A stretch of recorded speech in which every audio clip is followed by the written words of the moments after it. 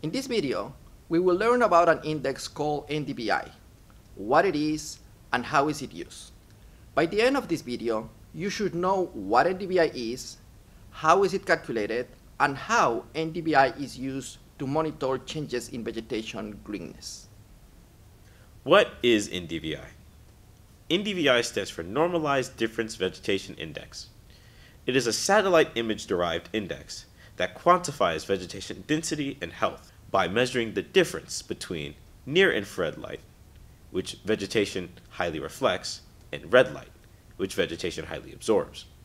In other words, it is an index that can be used to estimate photosynthesis and can be used to evaluate vegetation greenness. As previously mentioned, plants highly absorb red light for photosynthesis and highly reflect near infrared light and remote sensing sensors capture these patterns of high absorption of red light and low absorption or high reflectance of near infrared light. NDVI measures this light reflectance by capturing how much red light and near infrared light is hitting the satellite sensor. Simple yet elegant. NDVI is calculated by taking NIR minus red over NIR plus red, where NIR is the near infrared light and red is the red light on the visible spectrum captured by the sensor. There are many advantages to using an index such as NDVI to measure changes in vegetation greenness. The most important one is simple interpretability. It just takes values between the ranges of negative 1 and 1, although in real life, we never usually get to those extremes.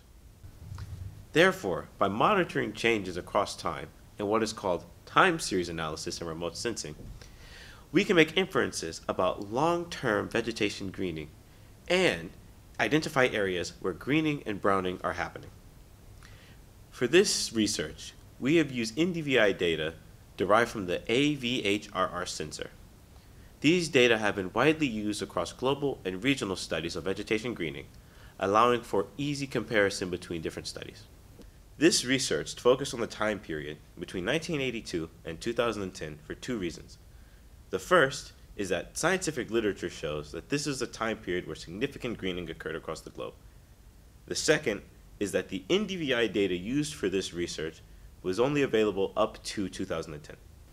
In this research, we use NDVI data from 1981 through 2010 in a method called time series analysis.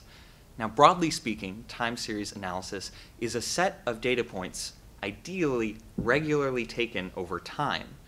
And the broad goal of time series analysis is to separate larger trends in a certain landscape or surface from seasonal trends and associated changes in vegetation phenology.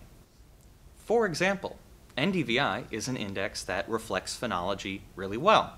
So if you're measuring a temperate part of the globe, let's say Minnesota, NDVI will increase as spring progresses, peak at its maximum in the summer, decrease in the fall, and hit its low point in the winter.